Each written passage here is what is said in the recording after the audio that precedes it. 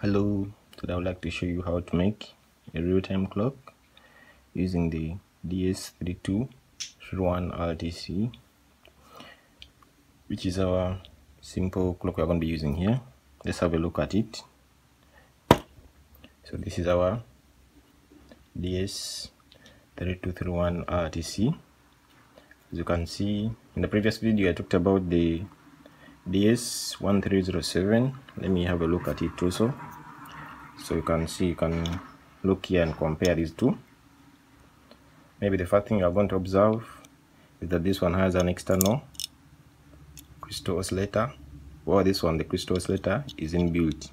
And that is one of the major differences between these two RTCs and it's one of the reasons why this DS3231 RTC is more more accurate compared to the DS1307 RTC is because this external crystal oscillator is affected by the temperature. So discover that if you're using this type of RTC, after some time you are going to discover that uh, the time loses some minutes over time.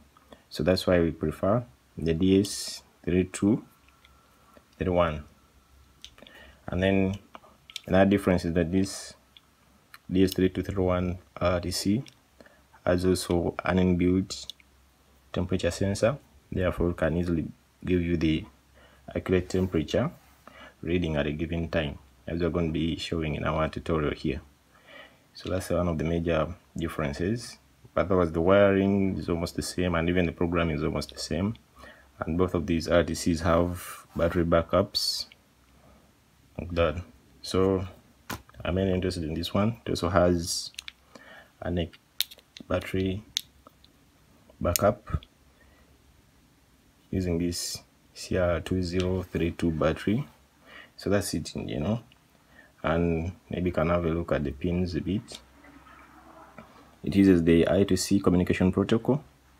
So we are expecting to have the ground the VCC a data pin and a clock pin then we also have this square wave pin. This pin is important if you're going to be using this chip or this module for setting maybe alarms yeah like that. And then um, you also have an, an onboard memory. You have a 32 byte 24c 32 EEPROM which is used to store, store some information and yeah basically that's it. That's the major the major features to know about this. So we're now going to see how we can, we can be able to set up the time using this module here.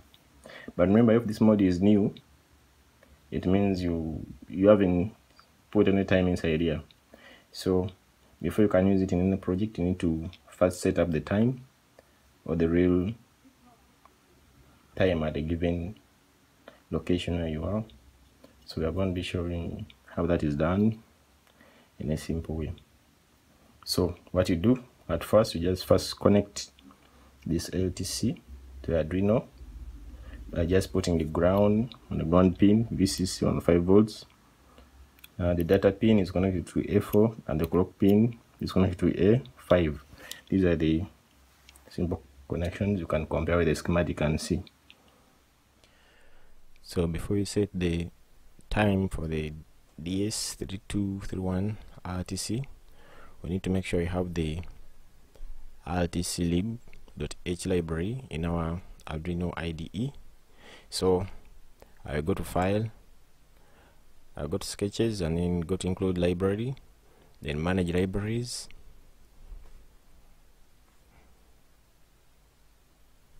So this is going to show me all the libraries that are going to be in my IDE at the time. And from here I can be able to check if I have that library rtclib so from here I can see yeah, I already have that rtclib library installed. So if it's not there make sure it is installed. It's usually around here so you can install it. So after that I go to file examples and then I look for rtclib so from here I look for the mode I'm having. I'm having DS3231 so I'm going to be using this one.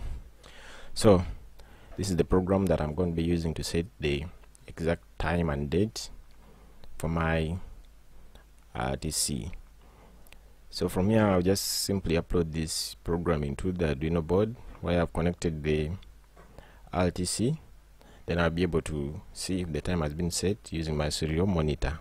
So let me upload this code and see what happens. The code has now been uploaded. So what we do now we go to the serial monitor here.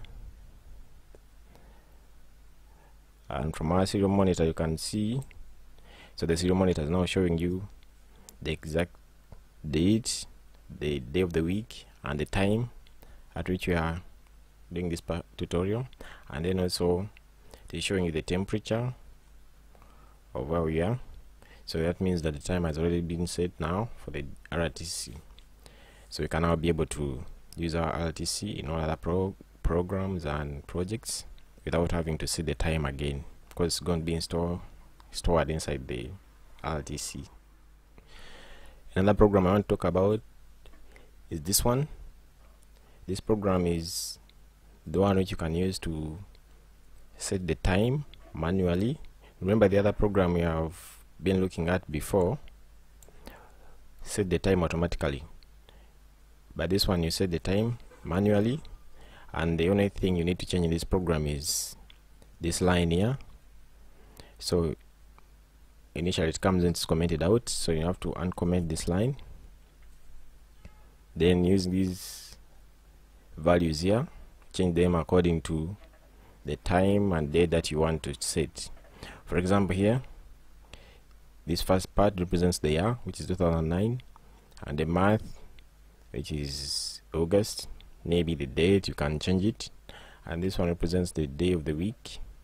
The day of the week is followed by the hours and then the minutes and the second.